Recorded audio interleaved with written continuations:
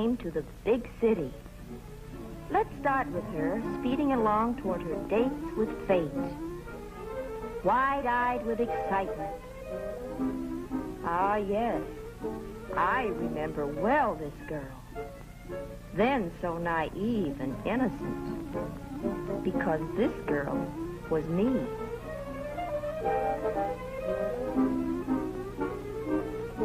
Little did I suspect that bright day the startling adventures just waiting to happen to me in the city ahead. If I had known then all that was to happen to me, I might have turned the car about and raced away from this place twice as fast as I was speeding toward it. Rounding a curve, I brake my car to a stop on a hill, high above the city I had heard so much about all of my life.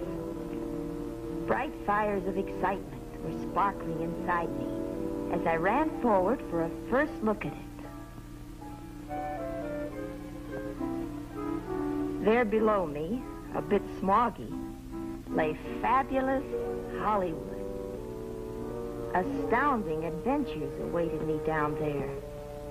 But quickly, my thoughts jumped back to my hometown of Greenfield, the newspaper office where I worked, the afternoon I had been summoned into the office of our editor, a man who both fascinated and frightened me.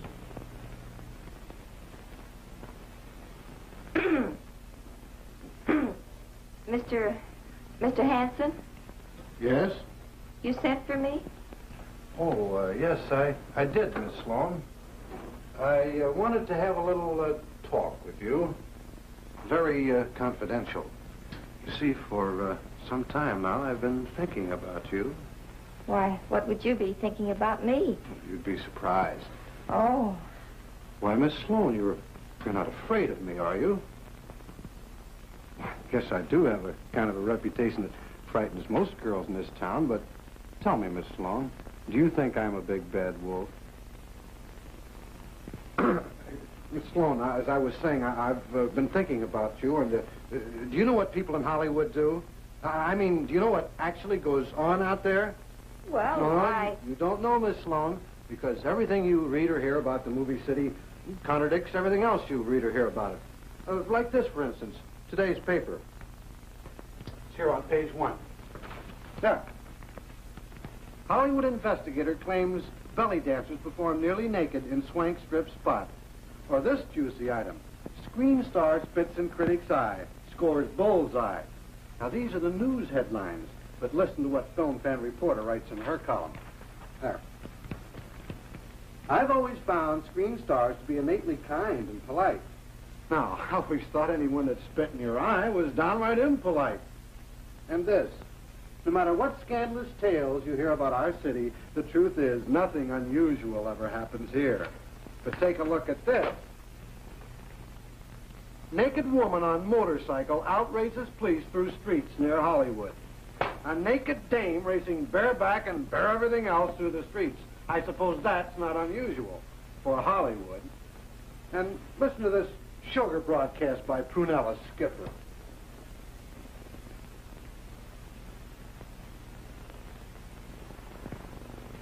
The movie actress Donna Sterling is just the sweetest girl I know.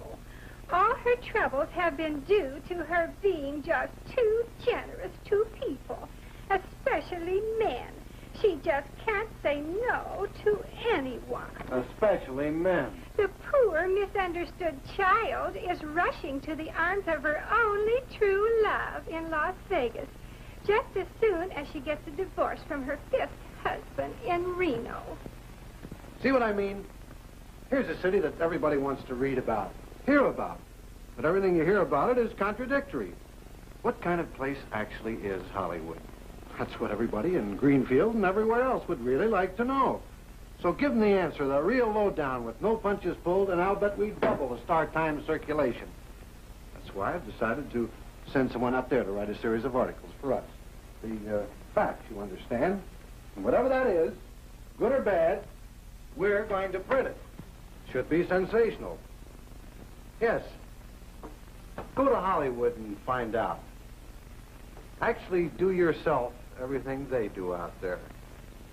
Know what I mean? Me? Why not? You have all the uh, equipment necessary for the job. But I wouldn't know how. I'm confident there'll be plenty of applicants to teach you how. But I haven't had any experience. I'll bet you won't say that when you come back. Well, Mr. Hansen's words had made me curious. I turned and raced back to the car, anxious to get down to the city below and discover just what might happen there. Hmm. If I'd have only known. 36 hours later, I was typing my first article. For I felt sure what had already happened to me would surprise readers of the Greenfield Star Times.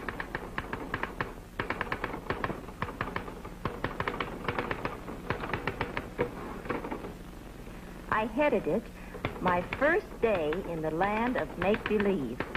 Like most people who come to Hollywood, my first thought upon arrival was, where could I see the movie stars? The simplest way might be to get one of the movie maps advertised along Sunset Boulevard. From a quaint old character, I purchased one, guaranteed to list the home addresses of 300 movie celebrities. And so, I set out to see the stars. You think all these glamour boys and girls live on vast estates? Ha!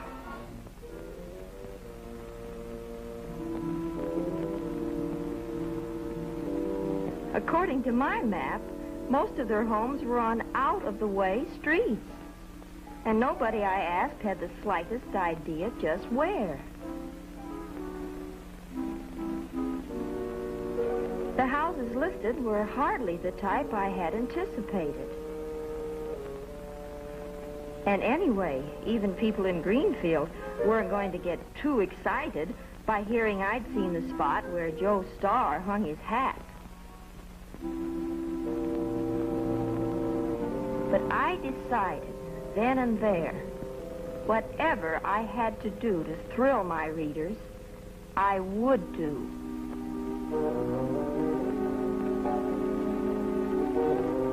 My first adventure, however, happened by accident. Somehow, I got lost in the Hollywood Hills. Looking for someone to give me directions, I saw a strange figure. I waved. Whoever, whatever it was, disappeared behind a high stone wall. Curious, I got out of my car. The place had a foreboding look. But I was lost. Anyway, I was seeking strange experiences. This looked like a place where you would certainly find them.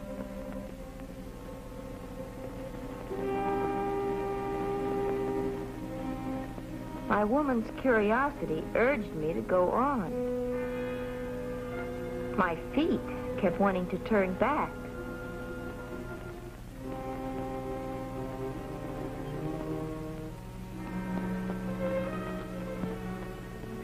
Somehow the place was weird. A perfect setting for ghouls and ghosts and horrible happenings.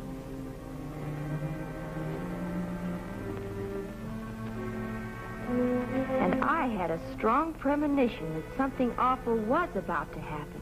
To me. Wherever I looked, I could find no one.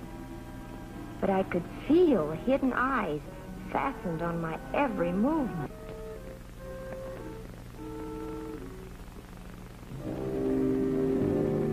It was a creepy place. Also, not one for high-heeled shoes.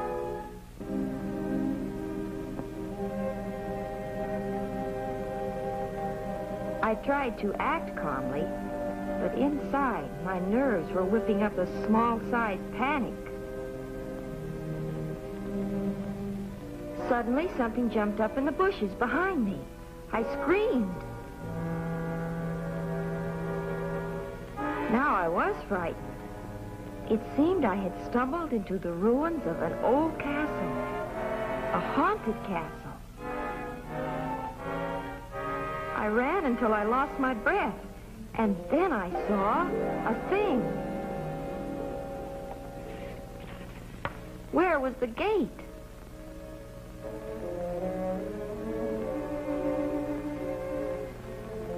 I was running around wildly trying to find it when I stumbled and fell flat. I lay there, afraid to look up because I heard the sound of feet closing in on me. When I did look up, a fence of legs encircled me.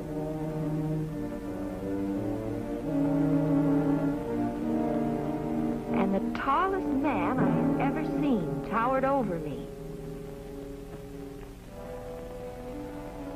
The man motioned for me to get up.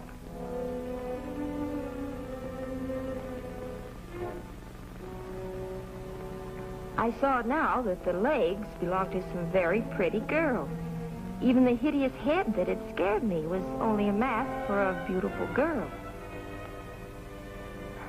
A few words made me understand everything. I had happened onto a studio ranch used by photographers and cameramen who make the artistic type of photos and films.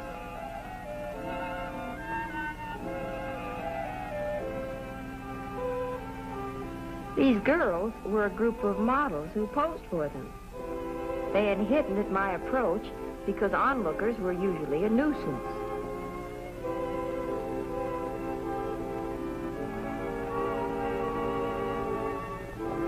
Since they had not been able to scare me away, however, everyone went back to work.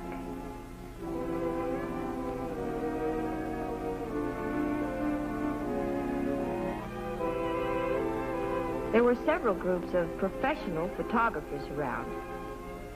But, as one of the models pointed out, some of the photographers used the picture-making gag just as an excuse to get acquainted with and ogle girls.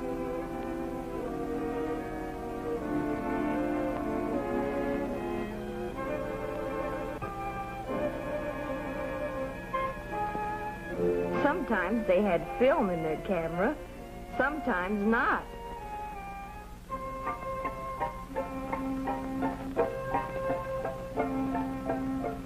Later, promising to stay out of camera range, I wandered about, looking at different groups at work.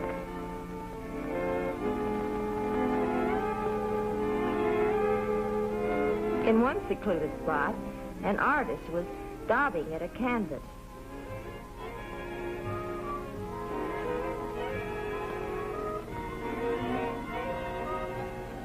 A while, the artist had an idea. And his idea, he should paint less of the model's costume and more of the model.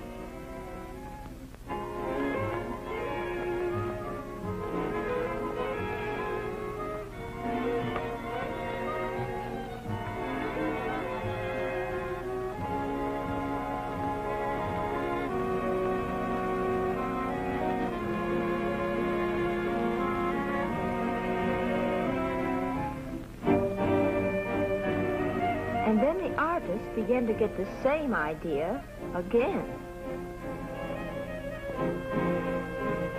He should take less of the model's costume and even more of her.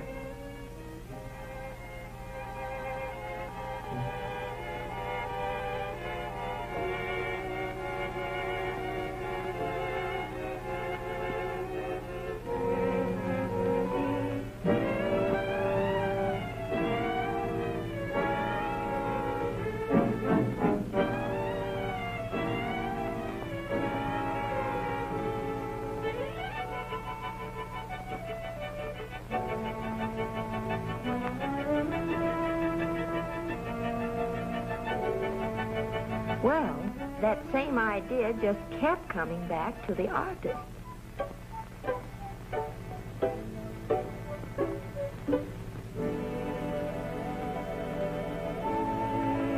But at last the model said, Wait a minute. Just what kind of a painting is this masterpiece of yours? And then she saw what she had been posing for. This artist would either have to improve his art or find a model with less temper.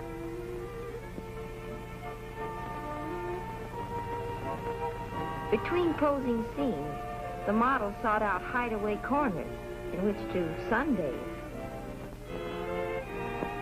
An even all-over tan was particularly desirable for color shots, they told me.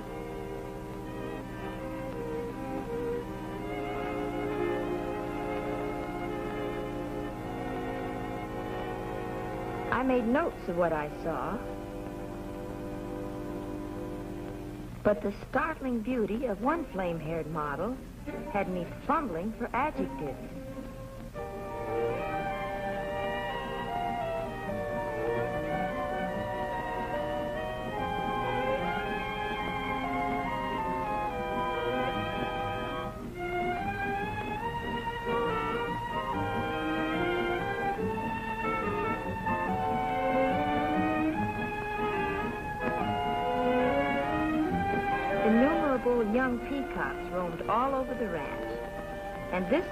Threw breadcrumbs to them.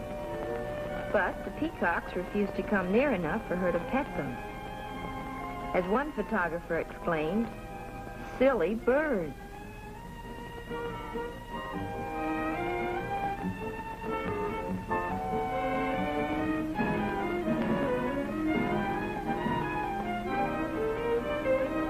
This model, I learned later, was Linnell, top favorite among the lensmen who do covers for magazines.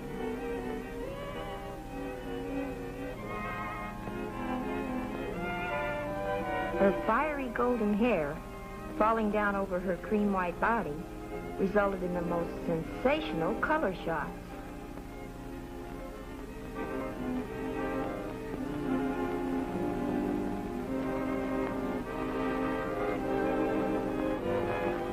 Rays of the sun were beaming down now, and when I saw one of the girls doing a scene for a movie, well, I had spent a very interesting afternoon watching the production of artistic photos and films. The gorgeous girl type of pictures that feature and star and immortalize glamour, winging their way out from the cinema city to thrill and delight the whole world.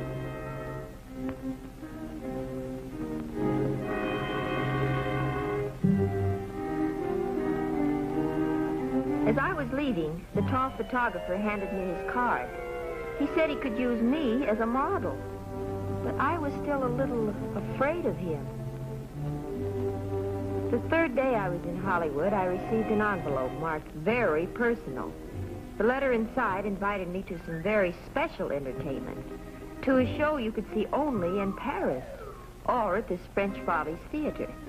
To ensure admittance, I took the letter and two dollars and found on arrival the show had already started.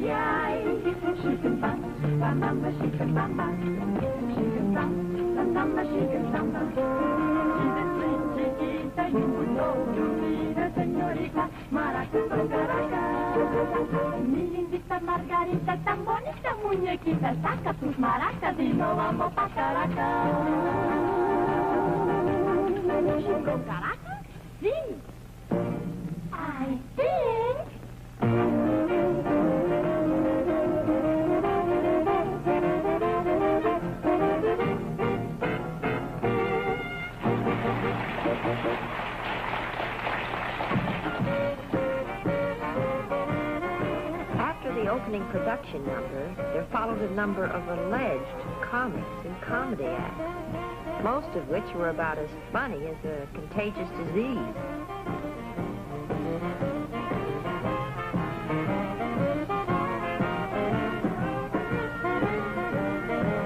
And then several dancers.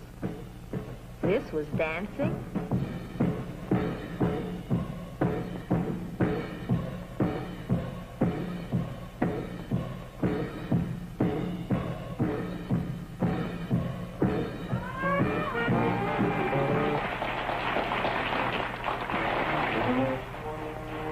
There was one number quite different.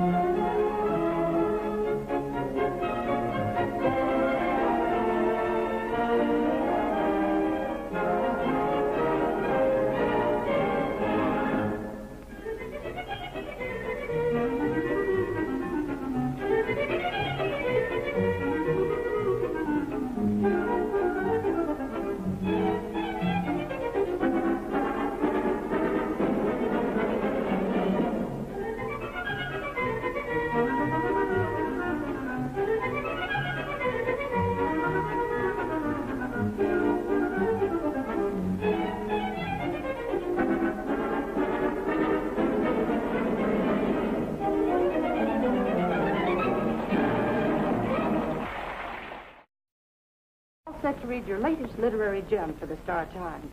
Still, I don't think I'm the type to be a literary critic. Oh, I just want to get the reactions of a common, normal person. now, dear, you know I may be common, but not normal. Oh, I'm on to you. You do more talking than anything else. Well, confidentially, I'm better at talking than anything else. Did you model for anyone this week? Yes, I worked yesterday for one of those would-be wolves. He called and said he wanted me for a sitting. Turned out to be more of a running. Do you mean he chased you? Well, what did you do? Well, I let him get close enough a couple of times, you know, to make it interesting. He's too feeble to be a menace. So I got my exercise and five bucks an hour. the tales you tell. You should be writing these stories instead of me. Well, your editor might be interested in some of my adventures, but I don't think he'd dare publish them. Well, let's hear how yours sound. My Adventures in Hollywood by Darla Sloan. All right, Darla. I'll read what you wrote and did. After seeing the girls at the French show toss aside all their garments, I convinced myself I might be able to take off a few. So I made a date and went over to pose for the photographer I had met at the ranch. He explained that here at his studio, he made all types of photos. He showed me photos of what he called girls in costume. They looked to me more like girls out of costume. Then Tall Tom wondered how my legs would photograph. My way of showing them proved unsatisfactory. Higher, he said, I want to see your legs, not just your feet.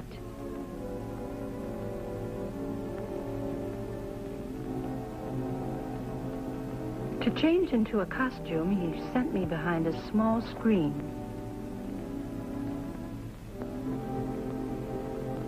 While I was changing, I kept thinking back to the day at the ranch when I had looked up and first seen this tall Tom towering over me. I began to wonder just what he had in mind now. I had heard stories about photographers.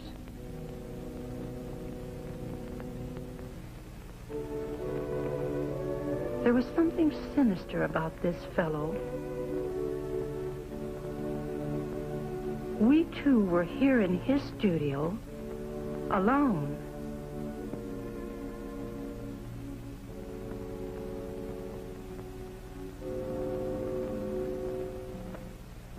I peeked out again. His back was toward me, and then he turned and saw me.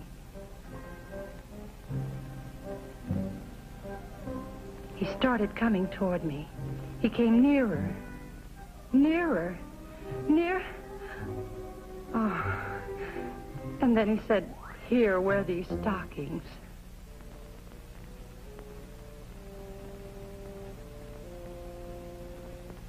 My behavior must have been strange to him as his actions were to me.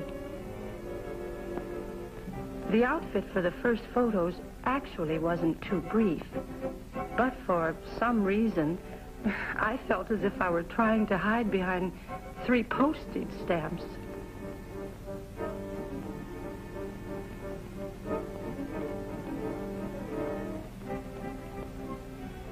Tall Tom finally pulled out a pair of dark glasses and assured me that wearing them he was practically blind.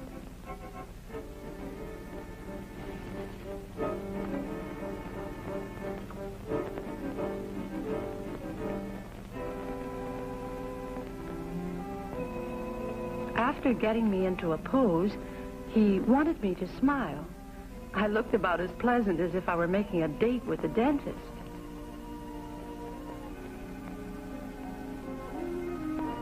Finally, he promoted a fair expression by having me say, cheese. Maybe this is how they started calling this kind of photography cheesecake.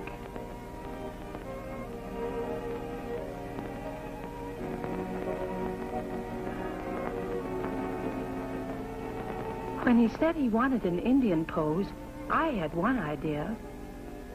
But his was entirely different. Well, if Minnehaha ever posed this way, it must have been when she was loaded with fire water.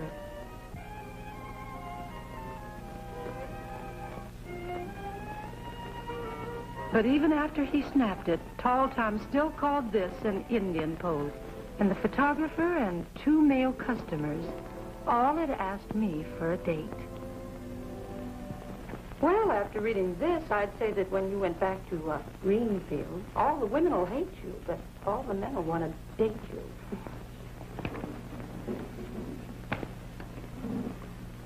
I wonder what Mr. Hanson, he's our editor. I wonder what he'll think of me.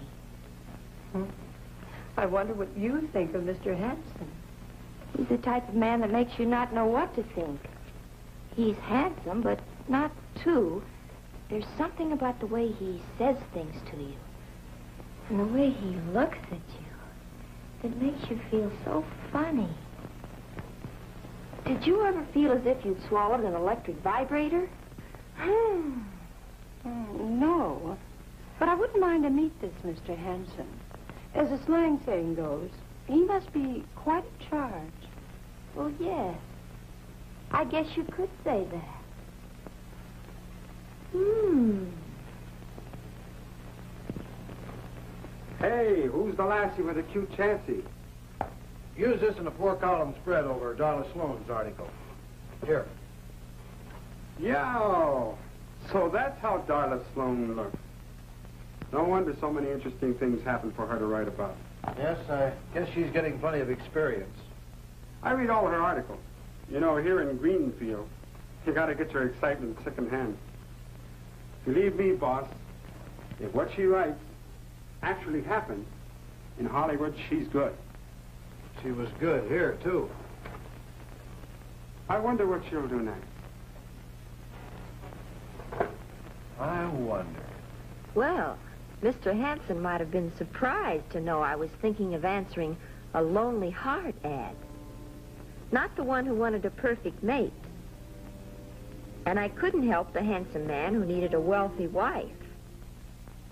But Mr. Sophisticate, who wanted to show some girl a wonderful evening. He might be just the escort to show me around some unusual night spots.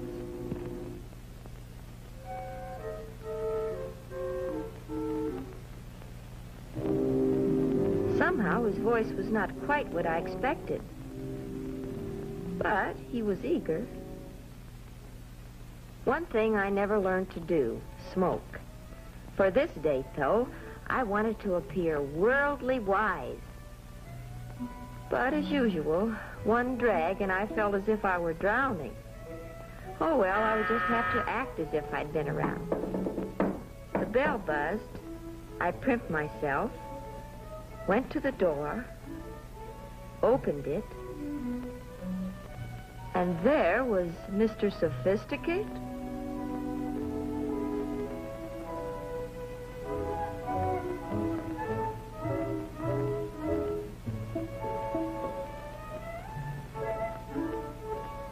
With a snoot full of water, I asked this character if he wanted me to take his hat.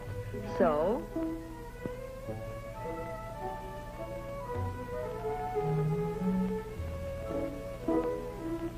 It seems in his hat, he brought his own lunch. Oh, this boy was a card. I bet he'd have been the life of a party somewhere back in the gay 90s. And that's where he should have been. He was full of tricks. And he punctuated each one with a jab in the ribs. Did I know he made big money? He showed me. Big money. Rib jab. I made the mistake of being coaxed to look at his lapel flower. But I was ready for his next rib jab. This literally had him rolling on the floor.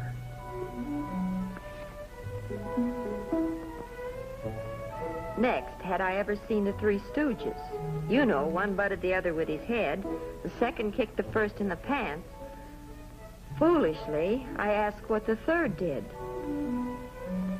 Mr. Sophisticate showed me.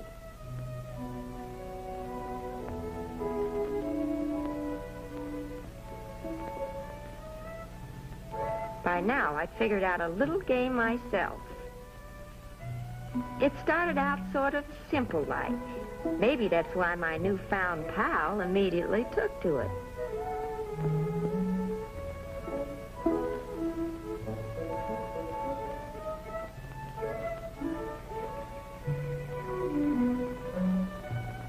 But as my game progressed, it became a little more complicated.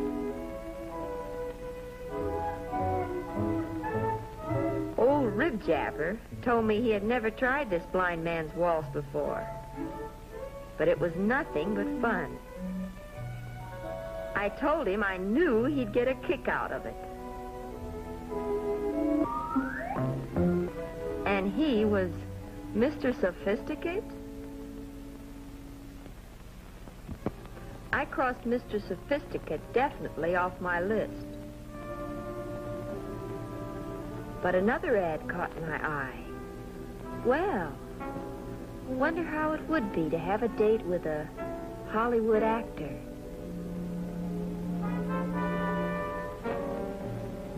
The next evening, though, when the buzzer sounded, I had almost decided not to answer it. But I knew he was completely different from Mr. Sophisticate. The moment he stepped inside the door and said, I am Sir Reginald Reginald. Uh, Mr. Uh, Sir Reginald, uh, won't you sit down? You may call me by my first name.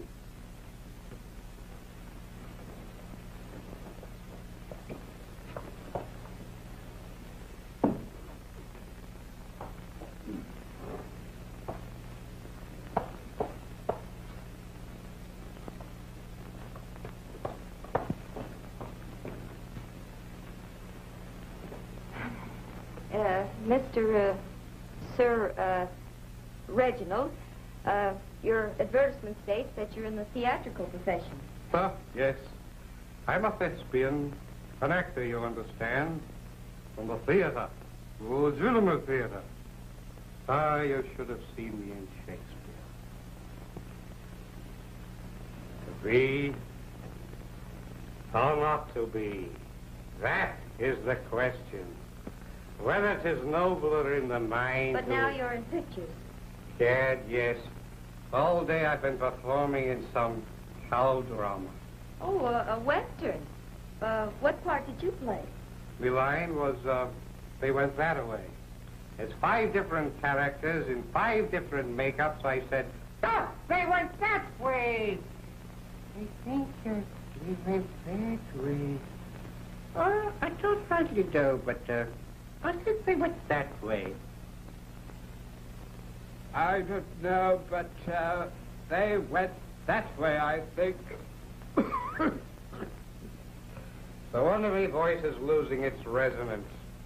Uh, you, uh, don't happen to have something to drink, have you? Would you like a drink of water? My dear, I want to drink, not bathe. A previous tenant had generously left behind two bottles of wine in the refrigerator. I proudly brought forth one for Sir Reginald. He looked at the label, muttered something about domestic. Maybe it was because the wine wasn't imported. Anyway, that boy had a way of drinking without tasting. Well, I gulped one too.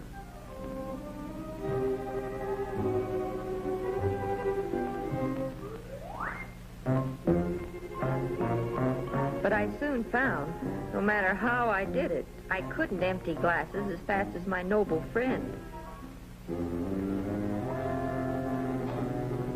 Sir Reginald finished the first bottle in a breeze. The second bottle about finished Sir Reginald.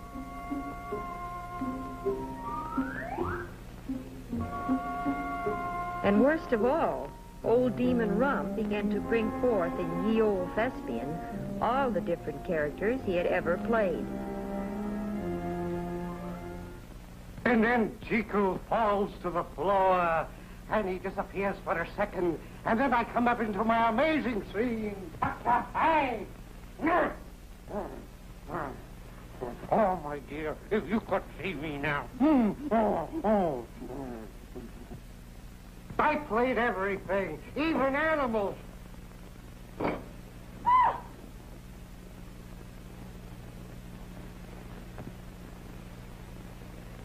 You saw me uh, as the Avenger of the Sun's Fury. Oh, what a scene. The sort of thing the audiences love. I beat the heroine for two reels. What a romantic scene.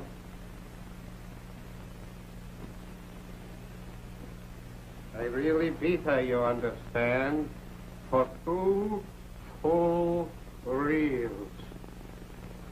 How do those lines go? Die, at last, me proud beauty. Die, the avenger, have uncovered your treachery.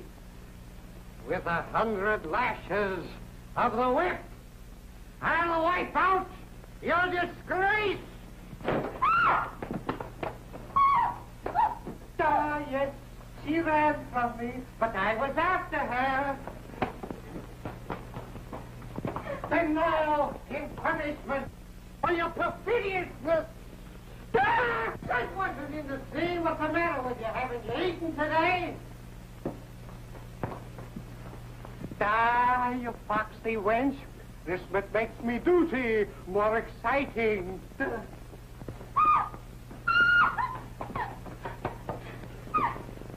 Ah, Cinderella! Ah, Peter, for two full reels! Stop twisting and turning and ruining the scene! Here, two full reels until I was completely done in. Very exhausting scene on me, you understand?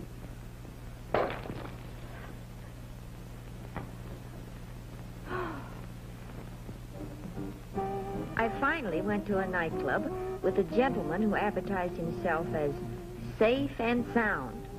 Well, anyway, he was safe. His hearing wasn't so good, but when they introduced the exotic dancer, Naomi, you could see Pop's eyesight was still sharp.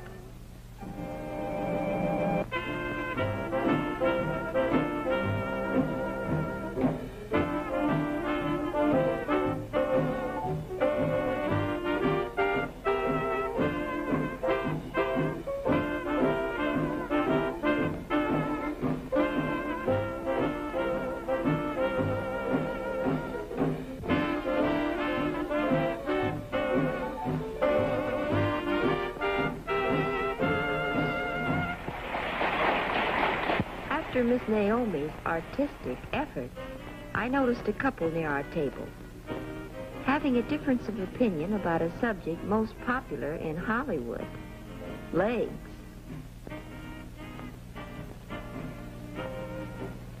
They moved away and I forgot them. Another act was being introduced on the stage. When Pops found the next act was not an exotic dancer, he lost all interest in the show. Well, with my escort falling asleep in my face, maybe this was the time to be nonchalant and light up a cigarette. I did. Usual result.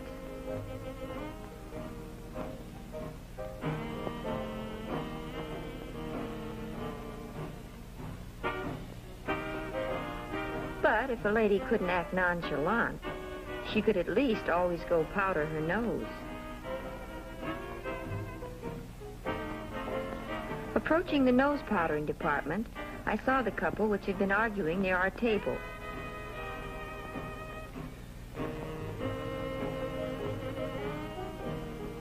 One of them asked me for a cigarette. I might as well give them away. I couldn't enjoy them myself.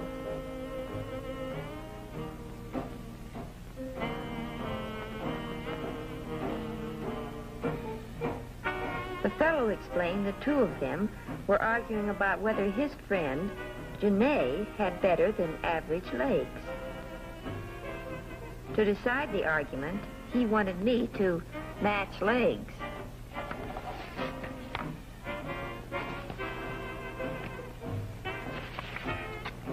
By now, I had gotten used to the gag. Let's see your legs, or Higher, I want to see your legs, not your feet. Anyway, the fellow voted mine better. Janae assured him he'd lost his eyesight, and I thought I had lost mine when I saw what Janae used for an ashtray. And then Janae explained what I should have known from the start. He was an impersonator, working in the show.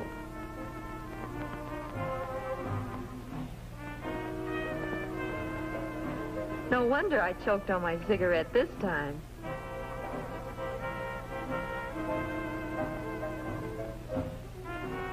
You know something? He made a better looking woman than I did. Here's today's edition, Chief. Hot off the press. You'll find Miss Sloan's article on the fourth page. Oh, yes, there it is. We're running her picture heading the article now, just like you ordered. She certainly is a delectable-looking dish. Out there in the wild and woolly West, she must be having a wonderful time. Yes, but I'm not so sure that she should be out there all by herself. From what she writes, I don't think she's ever all by herself. I mean, nobody from here went with her. Is out there to watch her, watch over her. I'm beginning to wonder if I should have sent her out there all alone. In fact, why should I have sent her out, period? Pierre Martin was a nervous little man who had a wholesale lingerie house. He brought buyers here to view his showings of new styles. Modeling for him, I thought I might find some rare experiences. I did.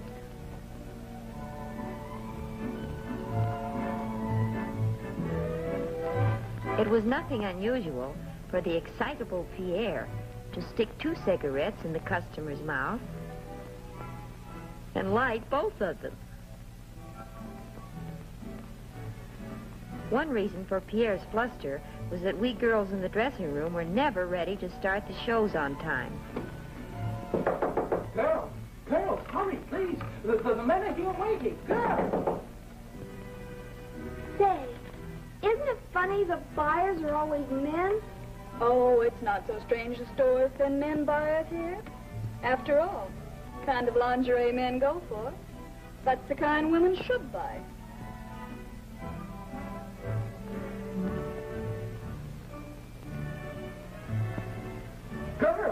Let's go with the first number. How long will you be? Five or four minutes. No, no. I wonder what makes him so excitable all the time. Probably working around all this lingerie. Make way. For the body's beautiful. You should have been parading around out there five minutes ago. You mean for something so wonderful? They can't wait five minutes? The way she's always claiming what a shape she has. You'd think she had my body. You'd better hurry, Jean. You follow me. I've always found that easy. Dreamer. Well, girls, here I go. No matter how impatient the buyers had become, the sight of Francine displaying Pierre's creations always had a soothing effect on them.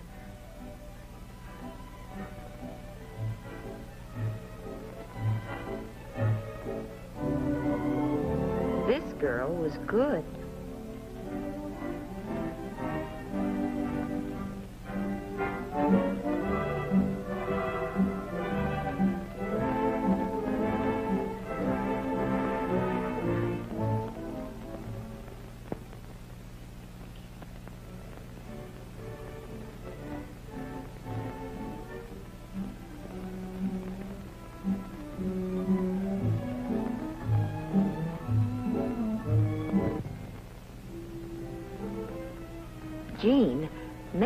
Or may not have been joking about being able to follow Francine in anything. But her appearance in the Sweetheart lingerie set certainly sustained interest in the show.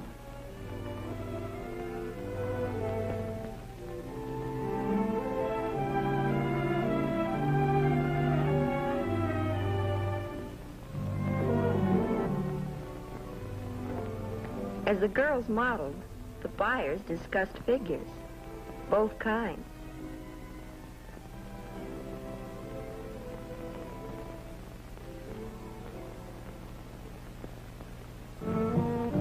Wanda had an original way of modeling. She just went into a dance routine, upon which the buyer's eyes would usually spin around like pinwheels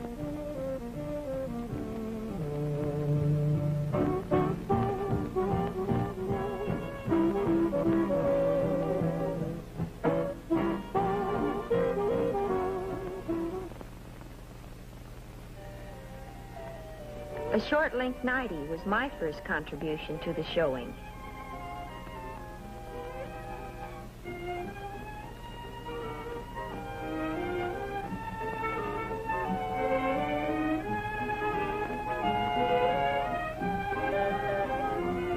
After saying good night, I blew out the candle, and this closed the first half of our little show.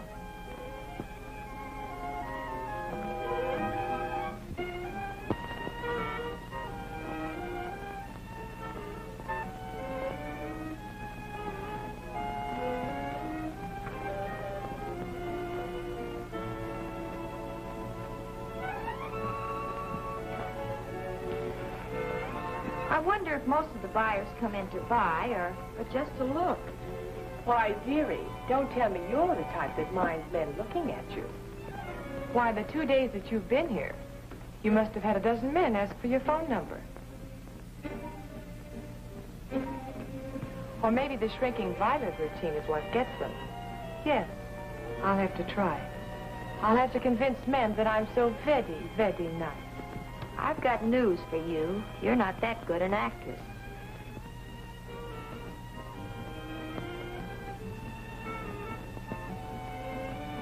The curtains opened up on Wanda for the second half of our little offering. Beautiful in black, wafting fragrance about. She could dance, too.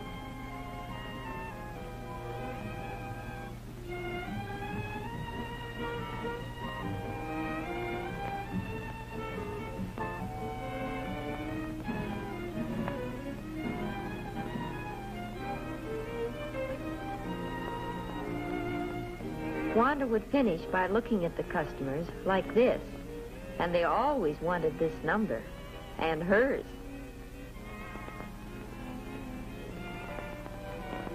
Francine was our number one stocking sales girl.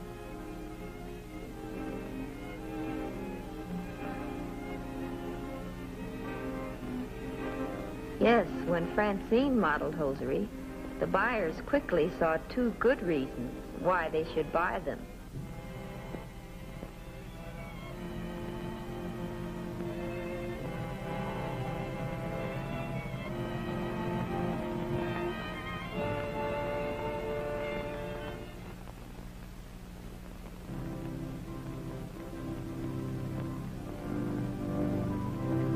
Original creation by Pierre was his bridal night lingerie. I felt flattered that he chose me to model it.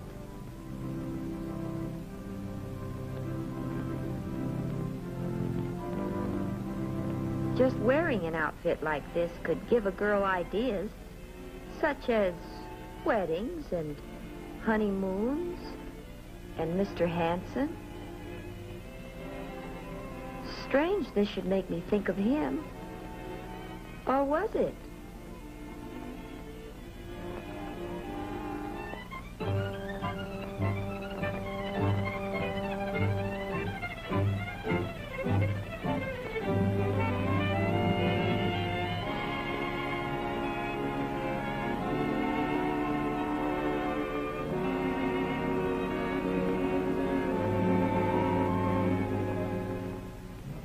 Judith had been with Pierre longer than any other model, and she broke all the rules.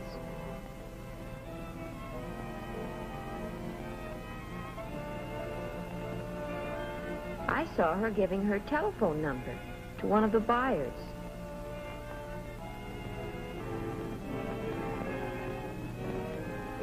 This girl was jealous of me, and I wondered if we'd have trouble. And I didn't have to wait long to find out. Say, I always always wear that outfit. Well, Pierre has my name on it, so evidently you're not wearing it today. Today, too. You may be Pierre's new pet, but I'm wearing that outfit. That's silly. I already have it on. That's easily changed. Ah!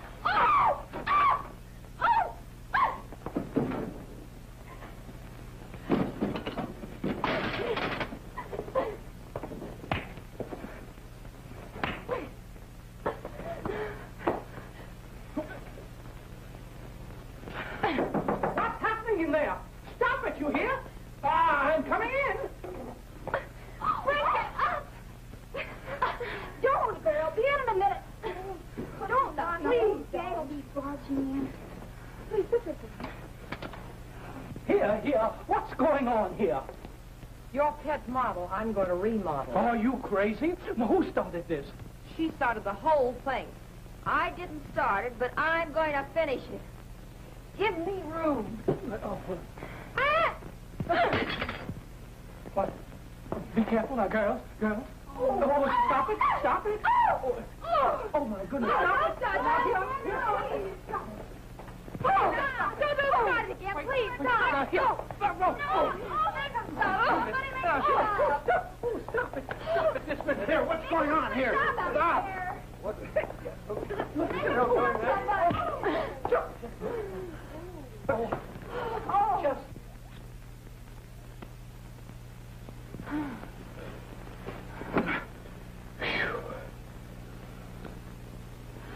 Why, Mr. Hanson, what are you doing here? Well, I was worried about you. I, I came to Hollywood and I went to your apartment and they said you were working here. Well, I'm, I'm not exactly dressed to, to give you a formal reception. Still afraid of the big bad wolf, huh? Listen, after what I've seen and done out here, you just think you're a wolf. Watch me. You. Oh Wow, you certainly have learned a few things in Hollywood. And that's only the beginning of what I've learned out here.